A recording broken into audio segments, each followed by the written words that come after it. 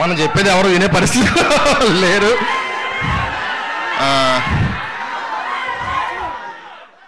ఆయన కథ రాశారు. నాలుగు మాటలు మాట్లాడివ్వండి. బాలకృష్ణ గారి గురించి ఒక రెండు మొక్కలు చెప్తాను ప్లీజ్.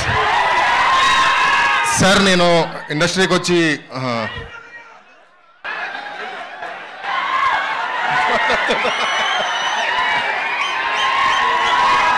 సార్ ఒక్క మాట. నేను ఇండస్ట్రీకి వచ్చి నాలుగు సినిమాలు చేశాను సార్.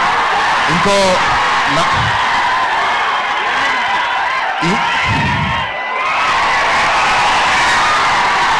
ఒక రెండు మాటలు ప్లీజ్.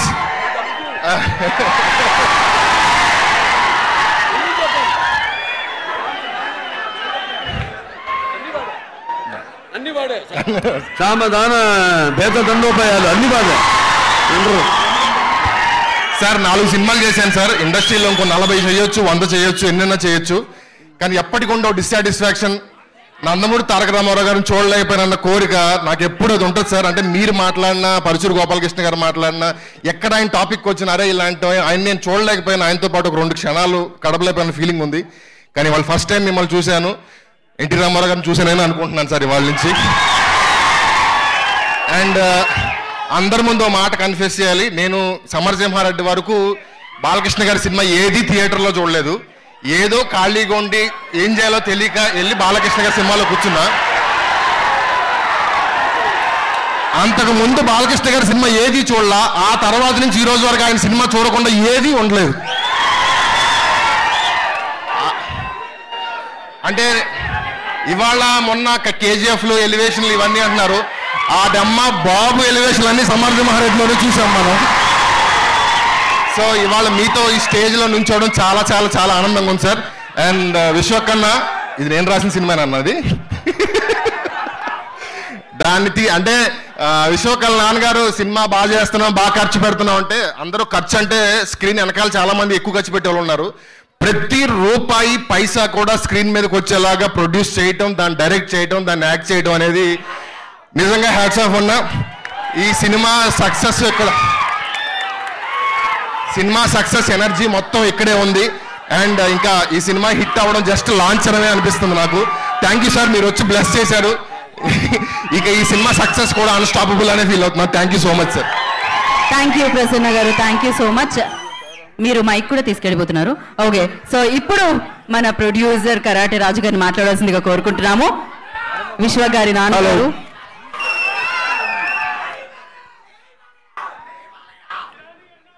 అందరికీ నమస్కారం. నేను జీవితంలో నేను ఎప్పుడు అనుకోలేదు. ఒక స్టేజ్ మీద నేను ఎన్టీఆర్ ఫ్యాను. మేడం పురంధేశ్వరి దే స్టూడెంట్ నేను జమాలజీలోనే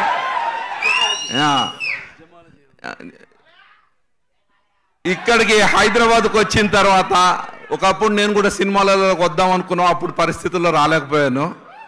దాని తర్వాత నేను మలక్పేటలో ఉండేవాడిని దిల్షు నగర్. అక్కడ వదిలేసి పిఆర్పి కంటెస్టెడ్ ఎమ్మెల్యే చేసిన తర్వాత కూడా మా బాబు సినిమాలు అంటే ఇక్కడికి వచ్చాం. వచ్చినప్పుడు చాలా భయపడ్డాం. ఏంది ఇక్కడికి వచ్చిన ఒక సినిమా ఇండస్ట్రీ అంటే ఏంది? ఎవరిని పైకి రానియరు తొక్కేస్తారు అని అనే యుద్ధంలో వచ్చాం మేము. ఇక్కడికి వచ్చిన తర్వాత మా ప్రొడక్షన్లో వన్ మైక్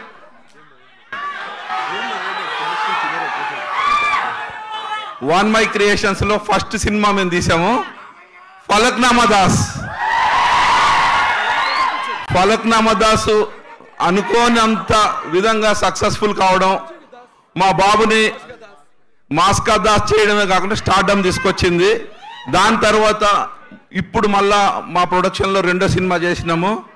దీంట్లో కూడా విశ్వక్సేనే డైరెక్షన్ హీరో ప్రొడ్యూసర్ అండ్ ఈ ఒక్క సినిమాకి నాలుగు సినిమాలు కష్టపడ్డాడు మొత్తం. వన్ ఇయర్ నుండి చేస్తున్నాము. ఆ కష్టం అంతా మీకు స్క్రీన్ మీద కనబడుతుంది. హండ్రెడ్ పర్సెంట్ సినిమా ఏ విధంగా ఉందో మీరు అందరూ సక్సెస్ చేస్తారని కోరుకుంటున్నారు. Thank you